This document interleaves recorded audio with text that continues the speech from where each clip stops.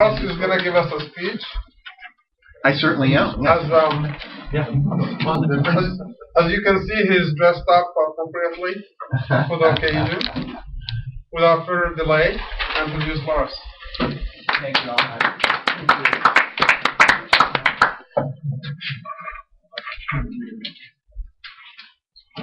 Fellow Toastmasters, welcome guests. Today I'm going to talk to you about canoeing, canoeing in Minnesota and what to wear. You may remember the movie with uh, Bubba Gump in it. I don't recall if that was the title of the movie or not. Was that the title or did it have a different title? What was the name of it? Forrest Gump. Okay. And in that movie, uh, Forrest Gump mentions a different way that you can prepare a shrimp. He mentions, you know, pan fried, butterflied, roasted, grilled, etc. He goes through a spiel with about 20 types of uh, ways to prepare shrimp. And it made me think that here in Minnesota we have a wide variety of rivers if you start naming them off. Uh, rivers for canoeing, wonderful for canoeing. The Mississippi, the Minnesota, the Root, the Zumbro. Oh golly, where do we go from there? Uh, the we could go to the St. Croix. These are just within the state of Minnesota. The Kettle, the Pine, the Snake, the uh, Crow Wing River, the Crow River, the Chippewa River, the Pomme de Terre, the Red River. There's tons and tons of rivers in the state. On the DNR website, they have 32 canoe trails listed, 32 different rivers you can go down.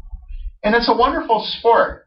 It fits right into the times that we are in too, because two, for two people to get outfitted for canoeing, if you spend fifteen hundred bucks, you're all set. You might get by for a thousand dollars. It's inexpensive, and you get a real sense of what's going on in the outdoors when you go canoeing. Canoeing routes generally are not crowded. You can run into exceptions. For example, the St. Croix River from Taylor's Falls downriver on a nice July Sunday afternoon, it's going to be crowded, but generally not. When you go canoeing, you're largely by yourself. In Minnesota, no matter what the time of year, you do have to be concerned about hypothermia and its effects. It can kill you, or in terms of minor effects, it can cause shrinkage, which you don't want. You know, shrink your fingers and other appendages. Uh, you really don't want that. Uh, seriously, you have to be careful of it. So when you go canoeing, you want to make sure that you're properly dressed. And if I was going out on the river, this is the gear that I would have along with me if it was other than a very warm day. I would be, I would have this gear along with me. I would not be wearing all of it. Starting from the head down, you want to have a hat that has a brim on it. This brim is not particularly wide. You might want to go even wider. If you have an aluminum canoe, when you think of it, you're largely sitting in a, I guess it would be called parabolic aluminum oven, and you have to take care that you don't get fried. So you have a hat, you have a brim on it. You have a raincoat along. If you don't cannot afford a raincoat or you don't want to pack one, bring along a big garbage bag. It will work in an emergency.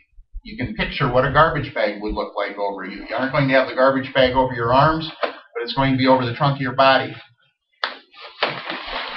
You have along a PFD life jacket. There's nothing special really about this one. I've just had it 30 years or so. The newer ones may look a bit different, but they serve a purpose both to keep you alive at the canoe tips and also here in Minnesota again, you can have cold weather unexpectedly. They insulate you, they keep you warm. Underneath the life jacket, if it was a cool day, I'd have a uh, vest along. Again, it's to keep you warm if you run into trouble. I'm overdressed today. I, I could go out when it was quite cool. I don't like cold weather canoeing anymore, but this is to give you a good idea of what to wear. Here, you have next layer, you have long sleeves. If it's sunny out, you are not going to get fried. Underneath, I have a t-shirt with uh, long sleeves once again. I might have a long sleeve t-shirt and a short sleeve t-shirt because you do not want to get sunburned. You really don't. The uh, for pants, these are nylon, which works out good because if you get wet, cotton does not insulate. And the cotton t-shirt that I have on or the cotton shirt, if I was to dump the canoe over, I would probably take those off and reassemble my clothes with no cotton underneath. cotton is not good if you get wet. It really isn't. Underneath the uh, long nylon pants would be a pair of uh, swimming trunks. So again, depending on temperature, depending on the weather forecast, you want to be set. And again, you want to make sure that you don't suffer from hypothermia. It kills people every summer in Minnesota.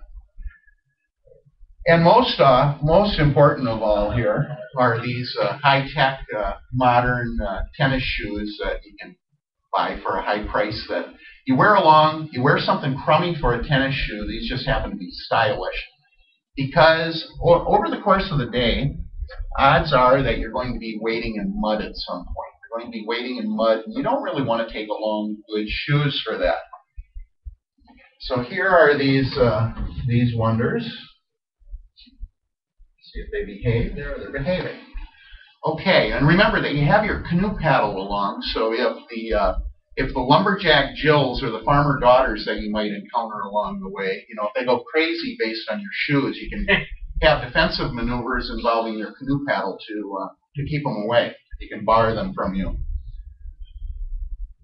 Canoeing in Minnesota, wonderful thing. When you think of the benefits, you're properly dressed, you go out, you enjoy it. It's good for your mental health.